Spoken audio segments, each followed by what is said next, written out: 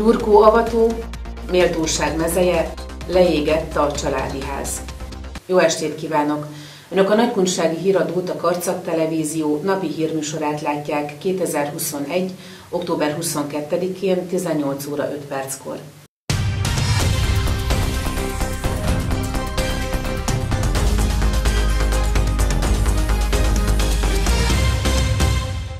Csokonai úti óvodában lurkóavatót tartottak. A részletekről Rauschenberger Gáborné tagóvoda vezetővel beszélgettünk.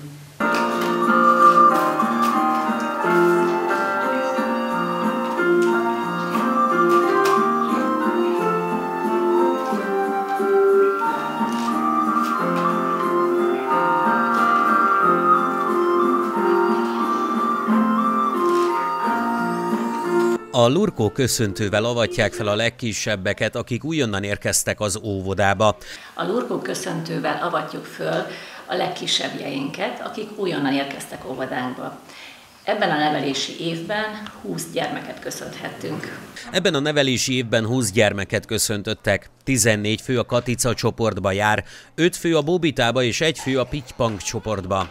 A kicsiknek és szüleiknek a Margarita csoportos gyermekek adták a műsort óvodába a hívó versekkel és őszi zenés táncos összeállítással.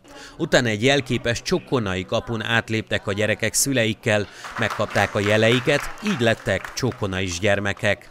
Így fogadjuk be a csokonai óvodába a gyermekeket, így válnak csokonaissá a gyermekek és a szülők egyaránt.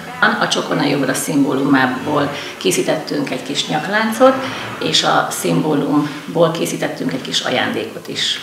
A szakemberek szerint hatalmas mérföldkő az óvoda kezdés a családoknak, ugyanis a gyermekeiket most kell elengedni igazán. Akik nem voltak bölcsödések, még nagyobb izgalommal várták az óvodai életet. Hatalmas mérföldkő ez a családok részéről, ugyanis a gyermekeiket most kell elengedni igazán. Akik nem voltak bölcsödések, még nagyobb izgalommal várták az óvodai életet, és próbáltuk anya, anyás beszoktatással egy kicsit enyhíteni az első szorongásos napokat. Nagyon szépen vették az akadályokat a gyermekek, elmondhatjuk, hogy azért már mindenki bent van a csoportban, beszokott, jól érzik magukat, Néha még vannak visszaesések, mert most ebben a, az időszakban egy kicsit betegesebbek, és a betegség után újra kezdjük szinte a, a beszokatást, de nagyon szépen megszokták a gyermekek a, a szokásainkat, szépen tanulgatják, mit, mikor mit kell önállóan majd végezniük, gyakorolgatunk, sokat mesélünk, énekelünk, rajzolgatunk, próbálunk rajzolgatni a gyermekekkel, és bevonjuk őket minden tevékenységünkbe. A kicsik szépen vették az akadályokat, már mindenki megszokta az óvodai életet, szokásokat. A Bobita csoportban középsősökkel együtt vannak ugye az öt kis csoportos korú gyermekünk, és azt vettük észre, hogy anyáskodnak a kicsik felett, és könnyebb a, a beszokás is most nekik így. Sokat mesélnek, énekelnek, rajzolgatnak a gyermekekkel az óvónők, és bevonják őket minden tevékenységbe. A nagyobbak pedig anyáskodnak a kicsik felett, akik az óvodai programokba is bekapcsolódnak szüleikkel. Több mint két évtizede indította el a Méltóság mezeje kampányt a Magyar Hospice Alapítvány a gyógyíthatatlan betegek szenvedésének enyhítésére. A karcagi Mindig van remény daganatos betegekért alapítvány tíz éve csatlakozott a programhoz. Több mint két évtizede indította el a Méltóság mezeje kampányt a Magyar Hospice Alapítvány a gyógyíthatatlan betegek szenvedésének enyhítésére. A karcagi Mindig van remény daganatos betegekért alapítvány tíz éve csatlakozott a programhoz. Azóta ősszel a Karcagi Méltóság mezeje helyszínén a Dériné Kulturális Központ előtt nárcisz hagymákat ültetnek el az ünnepségen résztvevők. Tizedik alkalommal ünnepeljük ezt a nagyon szép ünnepséget a Méltóság mezeje program keretében, amikor is ősszel náciszokat, nácisz hagymákat ültetünk, tavasszal pedig a gyönyörű virágzó náciszokat leszedjük. Hát Karcagon, mivel nincs hospice ház, ezért az idősek otthonába visszük el, és ezzel köszöntjük az idősöket. Mit jelképez? Magába az életet és a szeretetet, az élet szépségét, ami azt jelenti, hogy tehát nem a halálról szól, nem a meghalásról, hanem arról, hogy az élet még tart, és addig kell szépnek lenni, addig kell gondoskodni egymásról, és szeretni, amíg minden percet ki tudunk használni. A műsorban közreműködtek az Erkel Ferenc Alapfokú Művészeti Iskola magánének tanszakosai, és több szavalat is elhangzott. Beszédet mondott Szepesi Tibor polgármester és Nagy László Erzsébet, a Kátai Gábor Kórház főigazgatója. Az emberi méltóság erősebb a szenvedésnél, az elmúlásnál. A méltóságot nem pusztíthatja el gyógyíthatatlan betegség, csak a reménytelenség.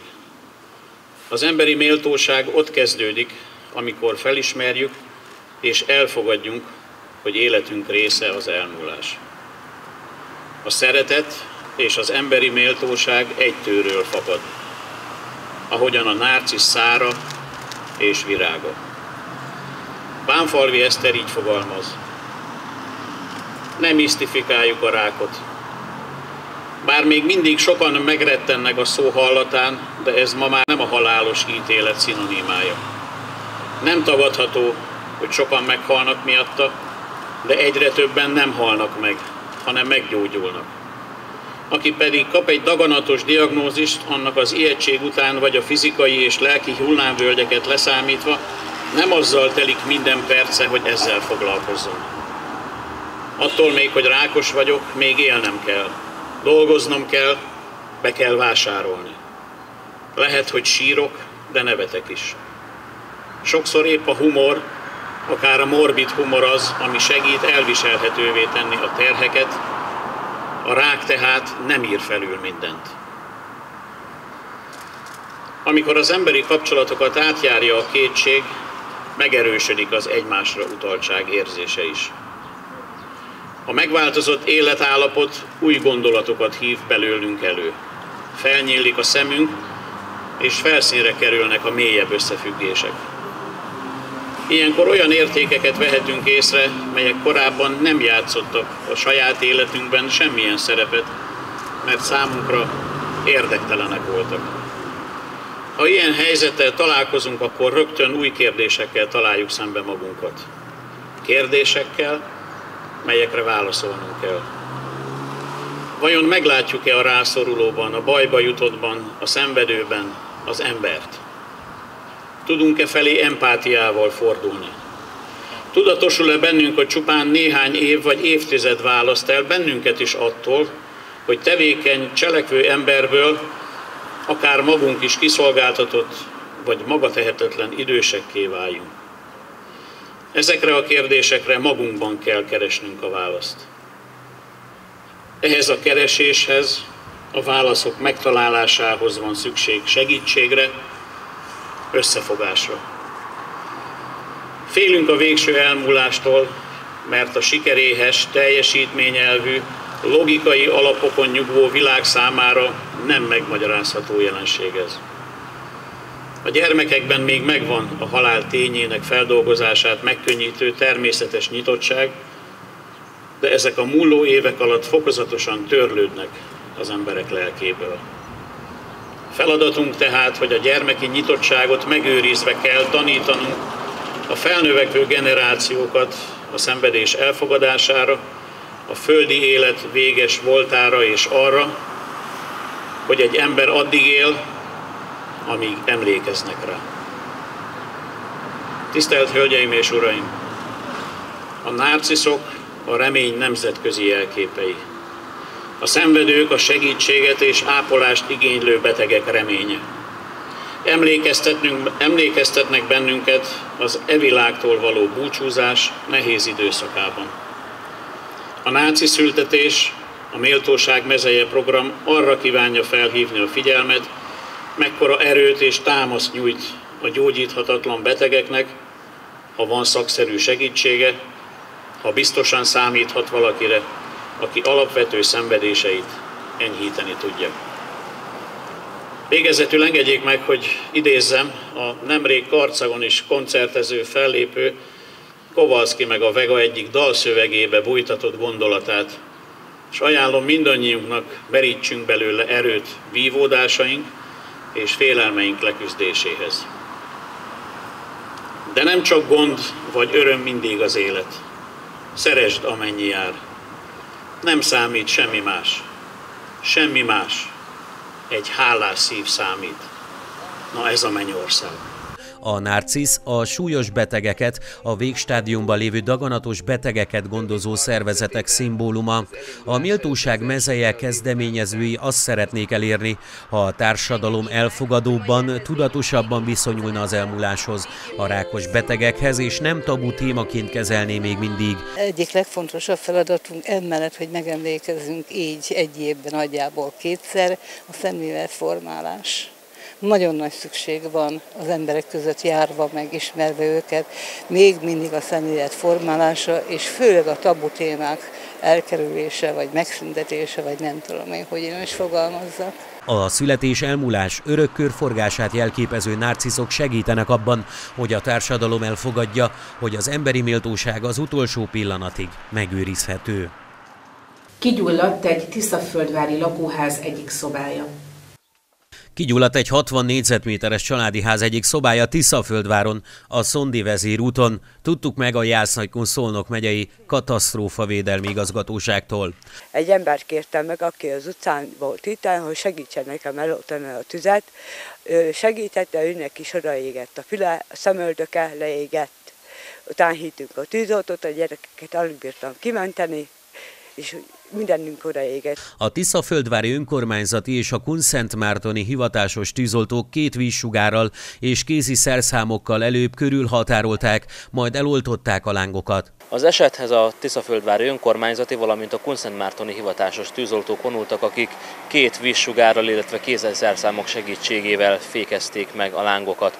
A tűzoltók megakadályozták, hogy a tűz átterjedjen a tetőszerkezetre.